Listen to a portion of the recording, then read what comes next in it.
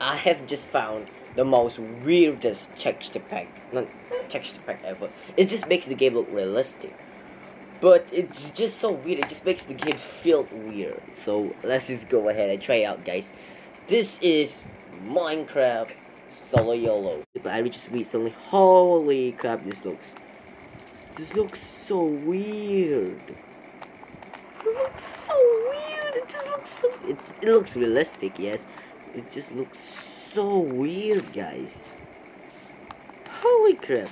But yeah guys, this is Minecraft Solo YOLO. I've been making a lot of Minecraft content. Oh, hang on a second.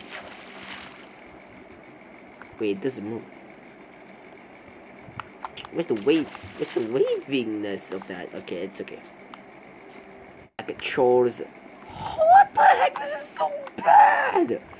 This is so bad, boys. This. It changed the sword as well. Yeah, oh my god. It looks so weird. Okay, let's just grab some these, these, these, and these. Okay. The weirdest texture pack of all of them. This just looks so ridiculous. I think this is the most ridiculous texture pack I see. It looks too realistic. I don't really like it, guys. Okay, let's try it. This is gold. I know which one is which, though. I mean, like, it's not that hard to tell. Unless if they, like, make the all just, like, change colors. That would be, like, so annoying. Um,